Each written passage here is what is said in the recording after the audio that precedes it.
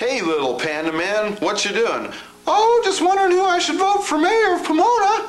Well, who do you think, huh? Well, I'm really leaning towards Mr. P, the rock and roll mayor. Oh, really? Why Mr. P? Because he's the only candidate that really knows how to get down. Well, that's good enough for me. Tuesday, March 2nd, I'm voting for Kevin Mr. P. Osmus, the rock and roll mayor. How about that?